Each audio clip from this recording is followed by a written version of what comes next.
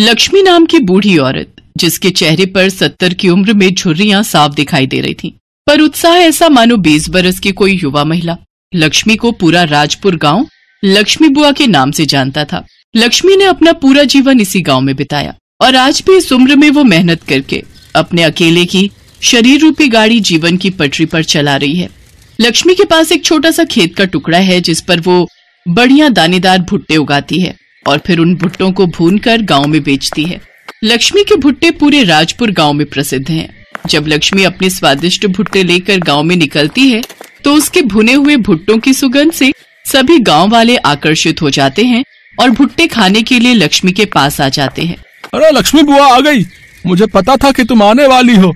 इसीलिए मैं पहले ही गाँव की सड़क पर खड़ा हो गया। तुम्हारे भुट्टो की खुशबू यहाँ तक आ रही थी, ताई। जल्दी से गरम गरम भुट्टा सेक दो। हाँ हाँ अभी देती हूँ। एक साथ चार पाँच भून दूँगी और लोगों को भी आने दो। ठंडे भुट्टो में स्वाद नहीं आएगा। गरम गरम खाओगे तो अलग ही आनंद आता है। अरे लगता है मैं नींबू लाना भूल गई। ओहो अब क्या करूँ? तभी एक छोटा सा बच्चा जिसका नाम राजू था वो दौड़ता हुआ आता है। उसके हाथ में एक थैली थी। लक्ष्मी बुआ ये लो नींबू। मुझे पता था आप घर पर भूल आए होंगे। मैं ले आया। अरे मेरा बच्चा, ओले मेरा लाल, तू मेरा कितना ख्याल रखता है। ये ले, एक बढ़िया गरम गरम भुट्टा तू भी खा ले। ले, खा ले। लक्ष्मी इस दुनिया में बिल्कुल अकेली थी। राजू नाम का वो बच्चा लक्ष्मी के पड़ोस में ही रहता था। वो लक्ष्मी से बिल्कुल दादी की तरह प्यार करता था। लक्ष्मी भी राजू को बहुत प्यार करती थी। एक दिन लक्ष्मी को पता चला कि राजू का परिवार शहर में शिफ्ट हो रहा है तो उसे राजू के बिछड़ने का बहुत दुख हुआ। लक्ष्मी बुआ तुम भी मेरे साथ शहर चलो ना। मैं चला गया तो तुम्हें नींबू कौन ला कर देगा? तुम तो रोज़ाना ही घर पे भूल आती हो। राजू मेरे बच्चे मैं तुझे बहुत याद करूँगी। मैं तेरे साथ नहीं जा सकती बेटा पर तू मुझे बहुत याद आएगा। तू मुझे मिलने आना। आएगा ना? हाँ लक्ष्मी बुआ मैं तुम्हें मिलने ज़रूर आऊँगा। और फिर राजू अपने परिवार के साथ शहर चला गया। राजू के जाने के बाद लक्ष्मी को उसकी बहुत याद आती थी।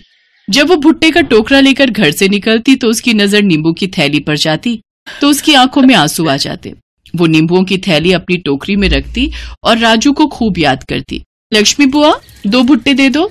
अरे आज तो तुम नींबू लेकर आई हो। अच्छा वो राजू जो चला गया। वैसे वो कौन सा सगा पोता था तुम्हारा? एक ना एक दिन तो उसे जाना ही था। भले ही वो मेरा सगा पोता नहीं था, पर मुझे बहुत प्यारा था। उसके होने के एहसास से मुझे पोते की कमी महसूस नहीं होती थी। और एक बात ध्यान रखना, कुछ रिश्ते खून के नहीं होते, कुछ रिश्ते दिल से जुड़े होते हैं। हो सकता है राजू भी मुझे उतना ही याद करता हो जितना मैं उसे याद करती हूँ। लक्ष्मी की आँखों में एक बार फिर आँसू आ गए। ऐसे ही दिन महीने बीते और देखते ही देखते पंद्रह साल बीत गए।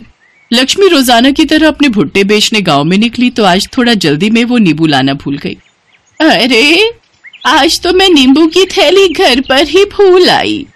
अरे लक्ष्मी बुआ, नींबू के बिना भुट्टे का मज़ा नहीं आएगा। वैसे ये देखकर तो मुझे वो याद आ गया, जब तुम नींबू घर पर भूल आती थी तो वो छोटा सा राजू तुम्हारी थैली पकड़ता हुआ आ जाता था। हाँ मोहन, तू ठीक कह रहा है, पर राजू तो शहर में है। अब तो वो बहुत बड़ा हो गया होगा। आज तुम्हारी बातें सुनकर मुझे भी उसकी बहुत याद आ रही है। जैसे ही लक्ष्मी अपनी बूढ़ी आँखों से आँसू पोछने लगती है, उसके सामने नींबू की थैली लिए एक बहुत ही सुंदर लंबा चौड़ा कद का लड़का खड़ा होता है। लक्ष्मी बुआ, आज तुम फिर अपनी थैली घर पर भूल आई ना। अगर मैं न लाता तो कौन? राजू। लक्ष्मी बुआ तुमने मुझे पहचान लिया। हाँ मैं वही तुम्हारा बचपन का छोटा सा राजू। देखो अब मैं कितना बड़ा हो गया हूँ। राजू मेरे बच्चे मेरे लाल। तू कितना बड़ा हो गया। तू कब आया?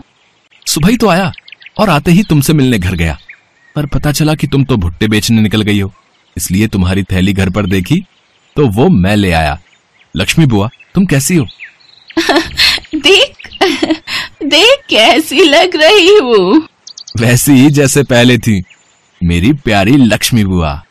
और फिर राजू लक्ष्मी के गले से लग जाता है। राजू लक्ष्मी को अपने साथ शहर चलने के लिए मना ही लेता है। लक्ष्मी बुआ अब मना मत करना। अब तो तुम्हारा राजू अपने पैरों पर खड़ा हो गया है। अच्छी नौकरी करने लगा है। इसलिए वो अपनी लक्ष्मी बुआ को अपने पास रख सकता है। प्लीज़ मेरे साथ चलो ना। तुमने बहुत गरीबी में दिन काट लिए, बहुत मेहनत कर ली। अकेले ज़िंदगी को बहुत जी लिया। अब अपने पोते के साथ ज़िंदगी जीने का वक्त है, लक्ष्मी बुआ। मुझे दादी का प्यार चाहिए, जिसके लिए मैं इतने साल तरसा हूँ। तुम तो जानती हो, मेरे अपने दादा दादी तो बचपन में ही गुजर गए। मैंने तुम्हारे रूप में ही दादी को देखा है। लक्ष्मी बुआ, मेरे साथ चलो ना। अपने राजू को अपने लिए कुछ करने का मौका दो। राजू लक्ष्मी को अपने साथ लेकर शहर आ जाता है। ज़िंदगी के आखिरी पलों में लक्ष्मी ने वो देख लिया, जिसकी उसने बरसों से कामना की थी। उसे पोते और बहू का सुख मिला। राजू के माता पिता लक्ष्मी की बहुत इज़्ज़त करते हैं। सच, बहुत कम ऐसे लोग दुनिया में होते हैं, जो इस तरह के रिश्तों को निभाते हैं और ये रिश्ते ही तो सबसे अनमोल बन जाते हैं।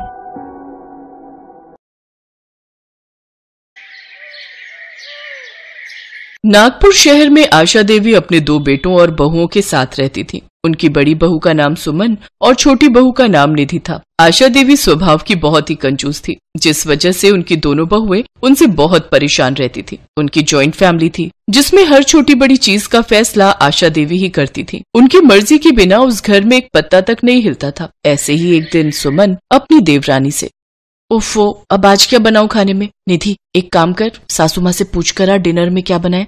निधि की शादी को अभी कुछ महीने ही हुए थे, जिस वजह से वो अपनी सास से बहुत ज़्यादा डरती थी। मैं, नहीं दीदी, आप ही पूछ कर आओ माँ जी से, मैं नहीं जाती पूछने। अपनी सास के डर के मारे निधि उनके सामने जाने से बहुत ही हिचकिचाती थी, जिस वजह से सुमन को ही अपनी सास का सामना करना पड़ता था, और उनके गुस्से का शिकार होना पड़ता था। देवरानी जी, तुम तो सासू माँ से ऐसे बचती फिरती हो। मानो अकेले तुम ही को उनसे डर लगता हो। खैर छोड़ो, अब मुझे ही जाना पड़ेगा उनसे पूछने। बाहर के रिमझिम भरे सुहाने मौसम को देखकर सुमन को आज कुछ अच्छा खाने का मन था। लेकिन वो जानती थी कि उसकी सास आखिर में उसे दाल चावल ही बनाने को कहेगी। इसी दुविधा में खोए हुए सुमन अपनी सास के कमरे में जा पहुँचती है और डरते हुए अपनी सास से पूछती है, मम्मी जी आज खाने में क्या बनाना है? बहू जो भी तेरा दिल करे तू बना ले। अरे स्टोर रूम अनाज से भरा पड़ा है। मैंने कोई कमी थोड़ी न छोड़ी है तुम लोगों के लिए। हाँ जानती हूँ। सारा स्टोर रूम तो राशन के चावल और दालों से ही भरा पड़ा है। उसके अलावा है भी क्या इस घर में? अरे किस सोच में डूब गई? समझ नहीं आ रहा कि क्या बनाऊँ। अच्छा एक काम करना। तू ना दाल चावल ही बना ले और साथ में पुदीने की चटनी भी बना दियो। लेकिन माँ जी कल रात को भी दाल ही बनी थी और यहाँ तक कि आज दिन में भी हमने दाल चावल ही खाए हैं। हाँ तो दिन में काली मसूर बनी थी, अब तू लाल मसूर बना ले। अरे, दाल है, पर है तो अलग अलग रंग की। माँ जी रोज रोज यूँ दाल खाना अच्छा नहीं लगता हमें। अच्छा आई बड़ी महारानी। अपने घर पर क्या पकवान खाती थी जो यहाँ दाल चावल खाना अच्छा नहीं लगता? और इतना ही शौक है नया नया खाने का तो लाओ, निकालो अपनी जेब से पैसे और थमाओ मेरे हाथ में। अरे, घर ऐसे ही नहीं चलता। आगे पीछे हर चीज़ देखनी पड़ती है। और तू तो जानती ही है, सब चीज़ कितनी महँगी होती जा रही है। अपनी सास की बातें सुनकर सुमन का चेहरा लटक जाता है, लेकिन उसके अंदर इतनी हिम्मत नहीं थी कि वो सास की बातों का जवाब दे सके। वो दुखी मन से रसोई में आती है और गुस्से में दाल निकालने लगती है। क्या हुआ जेठानी जी? आप इतने गुस्से में क्यों हो? देवरानी जी, मैं तो हमेशा ही गुस्से में रहती हूँ, लेकिन अफसोस कि मेरा गुस्सा कभी किसी पर निकल ही नहीं पाता। लेकिन हुआ क्या है जेठानी जी? होना क्या है? हमेशा दाल चावल ही खाओ। दिन में लाल दाल, रात को काली दाल, सुबह मिक्स दाल। ये दाल खा खा कर तो ज़िंदगी ही दाल बनकर फैल गई है। ये बात सुनकर निधि को बहुत हँसी आती है और वो चुपचाप एक तरफ़ चूल्हे पर दाल और एक चूल्हे पर चावल चढ़ा देती है। आशा देवी के घर में सुबह शाम हर वक्त बस दाल ही बनती रहती है। ऐसे ही कुछ दिन बीत जाते हैं। बहुओं के साथ साथ अब आशा देवी के दोनों बेटे भी रोज ऑफ़िस में दाल ले जाकर बोर हो चुके थे। एक रोज जब वो रात में फिर खाने में दाल देखते हैं तो बड़ा बेटा आलोक अपनी पत्नी से कहता है, अरे यार, फिर वही दाल चावल। ये दाल खा खा कर ना मैं तो पक गया हूँ। यार घर में कुछ और सब्ज़ी नहीं है क्या जो हर वक्त बस दाल चावल ही खाने को मिलता है? सच में निधि ऑफ़िस में रोज दाल लेकर जाता हूँ ना तो अब तो मेरे दोस्त भी मुझे चढ़ाने लगे और इसलिए उन्होंने मेरा नाम नितिन दाल वाला रख दिया है। आप हम पर क्यों चिल्ला रहे हैं जी? हम तो वही बनाते हैं जो माँ जी हमसे कहती हैं। अरे अरे क्यों भड़क रहा है?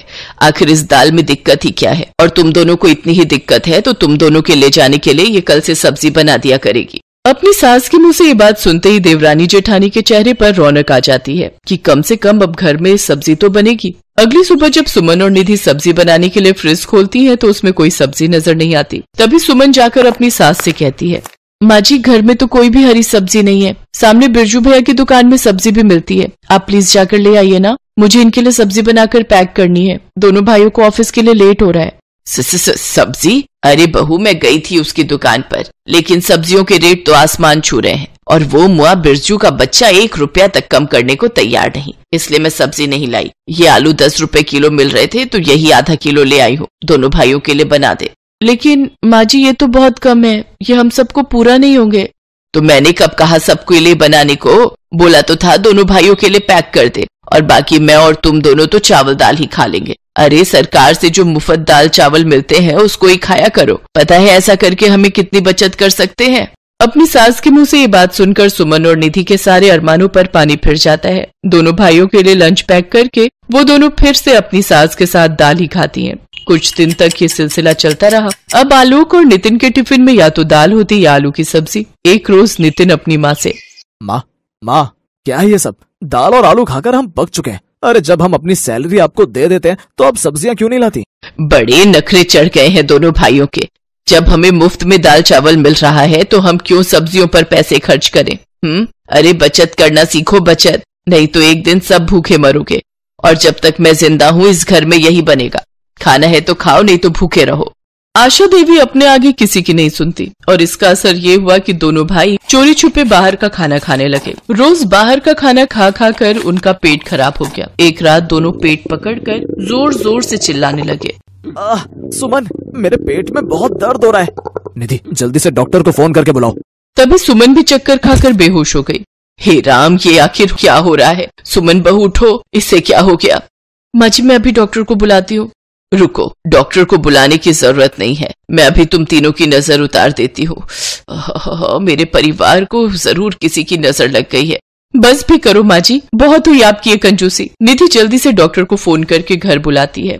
देखिए, आपके दोनों बेटों ने पिछले कुछ दिनों से लगातार बाहर का खाना खाया है, जिस वजह से इनका पेट खराब हो गया इन्हें इंजेक्शन लगा दिया है, थोड़ी देर में आराम आ जाएगा। और आपकी बहू लगता है ये सब्ज़ियाँ नहीं खाती, जिसके कारण इनके शरीर में ज़रूरी पोषक तत्वों की कमी हो गई है। मैंने इनको मल्टीविटामिन का इंजेक्शन दे दिया है, कुछ ही देर में होश आ जाएगा। लेकिन अगर ये ऐसे ही हरी सब्ज़ियाँ खाने से बचती रही तो इन्हें जल्दी हॉस्पिटल में एडमिट करना पड़ेगा। पता नहीं आप लोग समझते क्यों नहीं? खाने में सब्जियों की ज़रूरत हमें उतनी ही है, जितनी जीने के लिए सांस की। आशा देवी को अपनी गलती का एहसास हो जाता है और वो कहती है, इसमें इनकी गलती नहीं है, डॉक्टर साहब। मैं ही अपनी कंजूसी के कारण इन्हें राशन में मिले मुफ़्त दाल चावल खाने को मजबूर करती थी, लेकिन अब मुझे अपनी गलती का एहसास हो गया। अब से मैं अपनी ये कंजूसी भरी आदत छोड़ दूँगी और अपने बच्चों को हर तरह की सब्ज़ियाँ खिलाऊँगी। और इस तरह से अब आशा देवी के घर में तरह तरह की स्वादिष्ट सब्ज़ियाँ बनने लगी और दाल चावल अब हफ़्ते में दो बार ही बनते थे। अब सभी घर वाले हर रोज अलग अलग सब्ज़ियाँ खाकर बहुत खुश थे।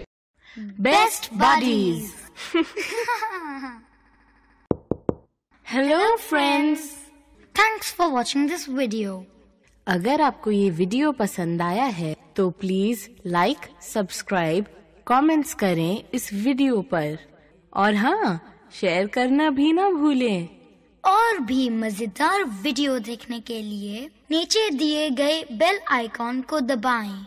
देखते रहिए बेस्ट बडीज।